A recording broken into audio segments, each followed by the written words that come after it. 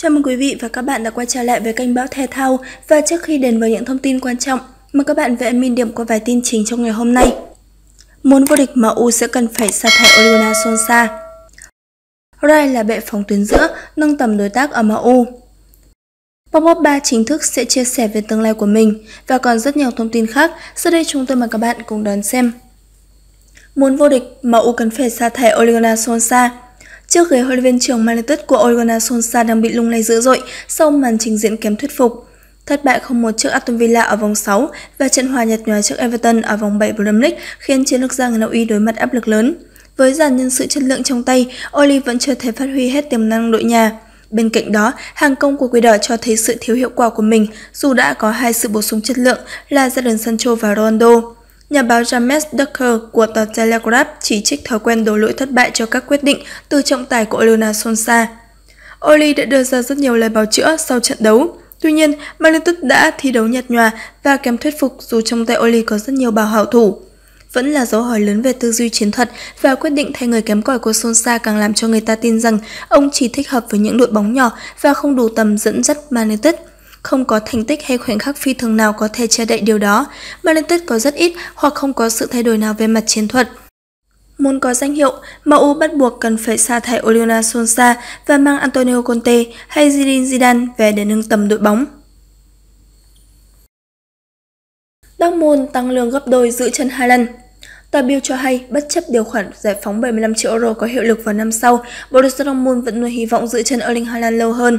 Đại diện Bundesliga được cho sẵn sàng đề nghị chân suốt Na Uy hợp đồng béo bở để có thể giữ chân Haaland ít nhất một mùa giải nữa. Theo nguồn trên, Dortmund đề nghị Haaland hợp đồng 15 triệu euro trên một năm, tăng gần gấp đôi so với mức hiện tại là 8 triệu euro trên một năm. Paul Pogba chính thức chia sẻ về tương lai của mình.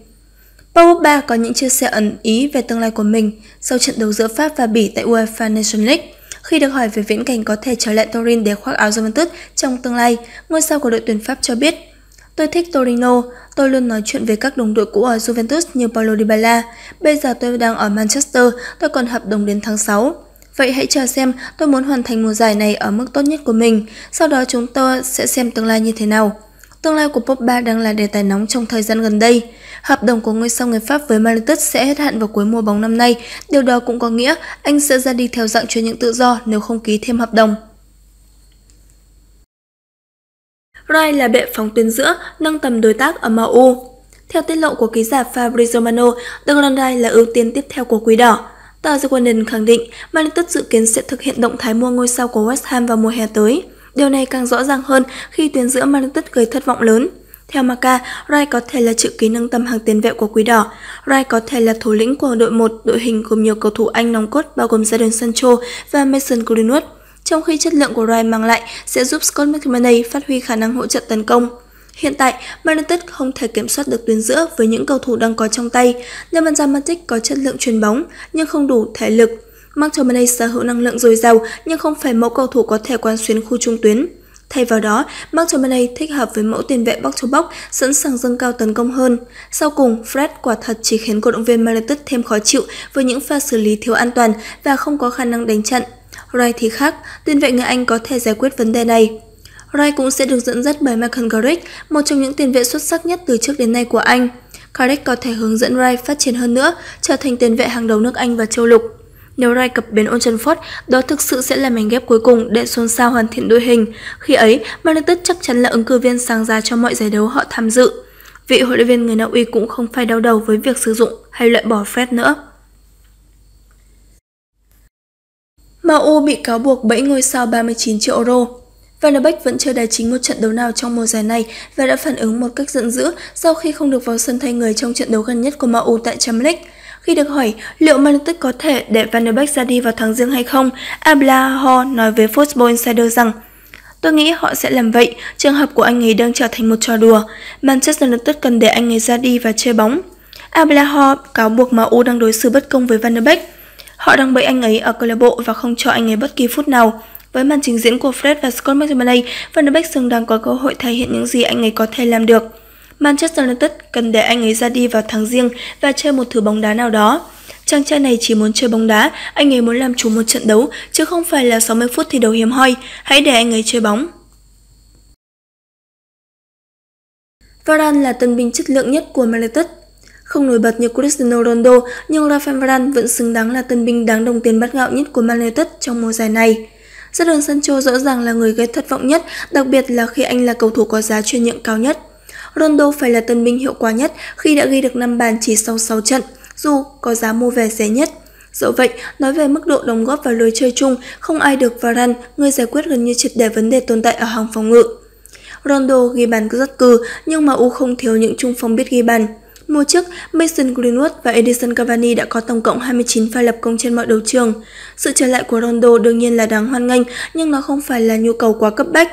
Tìm người đá cặp với Harry Maguire ở trung tâm hàng phòng ngự mới là vấn đề cấp bách và với 34 triệu bảng, Quy đó đã phải giải quyết triệt để, dù rằng những con số thống kê chớ trêu lại không cho thấy điều đó. MU đang trải qua thành tích phòng ngự sân nhà tệ nhất trong 50 năm khi thủng lưới liên tiếp đến 9 trận ở Old Trafford. Tuy nhiên, Varane chỉ chơi 3 trận trong số đó và càng không phải là người mắc lỗi. Thành tích phòng ngự tồi tệ của MU đến từ nhiều yếu tố, trong đó nổi bật là phong độ đi xuống của cặp đôi người Anh Harry Maguire và Luke Shaw bên nửa trái. Ở bên nửa đối diện, Varane đã dùng hết sức bình sinh để bọc lót cho Wan-Bissaka. Trong các bàn thua mà MU phải nhận trong mùa này, rất khó để tránh trách cứ cá nhân Varane trong bất cứ trường hợp nào. Varane đứng đầu MU ở số cắt bóng với 11 lần. Varane có 35 lần phá bóng giải nguy, đứng thứ hai sau Maguire. Trung vệ người Pháp đã thực hiện 6 pha tóc bóng, chỉ kém một mình Luxor. Varane cũng chặn thành công 11 cú sút của đối phương, chỉ sau Wan-Bissaka. Anh thắng không chiến 15 lần, thứ hai sau Maguire. Varane còn cực kỳ bình tĩnh mỗi khi triển khai bóng, điều đó khó có thể được diễn giải bằng những con số. Nếu đối tác Maguire cũng như tuyến giữa của MU thi đấu tốt hơn, đóng góp của Varane sẽ càng được nhìn nhận đúng đắn. Dù MU đang không có được kết quả như kỳ vọng, Varane cũng không quá thất vọng. Tôi rất hạnh phúc với khởi đầu của tuyến chuyến phiêu lưu này. Ở Premier League là giải đấu nổi tiếng với cường độ khủng khiếp. Bầu không khí rất khác, tinh thần các cầu thủ nhìn chung cũng khác. Tôi phải học cách tiếp cận trận đấu kiểu khác và đó là một trải nghiệm mới mẻ.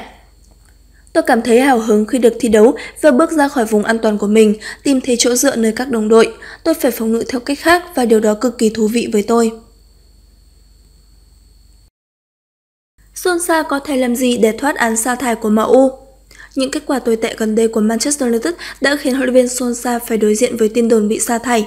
Tình hình càng tồi tệ hơn khi phía trước của thầy trò huấn luyện viên Solskjaer là một lịch thi đấu rất khó khăn.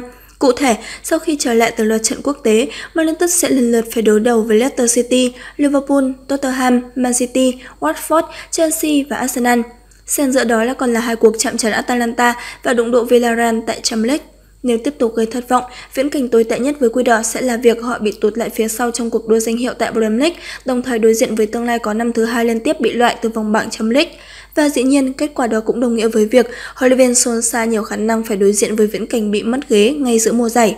Thực tế cho thấy, Man United dưới thời chiến lược gia người Na Uy thường đánh mất những điểm số quan trọng ở các trận cầu họ cần phải thắng và đó cũng chính là nguyên do ngăn cản họ vươn lên dẫn đầu trong một cuộc đua đường trường kỳ như ở Premier League. Phát biểu sau trận hòa Everton, tiền vệ Bruno Fernandes cũng thừa nhận rằng Quy Đỏ có những điểm yếu vẫn chưa được khắc phục. Anh cho biết, Chúng tôi lẽ ra phải thắng trận đấu gặp Everton, chúng tôi phải tạo ra nhiều cơ hội hơn và không nên để thủng lưới một bàn thua như thế. Đây không phải là lần đầu tiên chúng tôi vấp ngã như thế và chúng tôi cần phải nhìn lại xem mình sai lầm ở đâu và có thể làm gì để sửa chữa điều đó. Những chia sẻ của Bruno Fernandes cho thấy anh hiểu rằng ở Man United đang tồn tại những sai lầm cố hữu và hiện vẫn chưa được khắc phục. Tuy nhiên, trên tư cách huấn luyện viên, Ole Gunnar Solskjaer vẫn loay hoay với bài toán mang đến sự ổn định cho Quỷ Đỏ. Và nếu không thể tìm thấy những kết quả tích cực sau là trận quốc tế cho Man United, chắc sa thải sẽ là thứ đang chờ đợi trên bàn làm việc của chiến lược gia người Na Uy.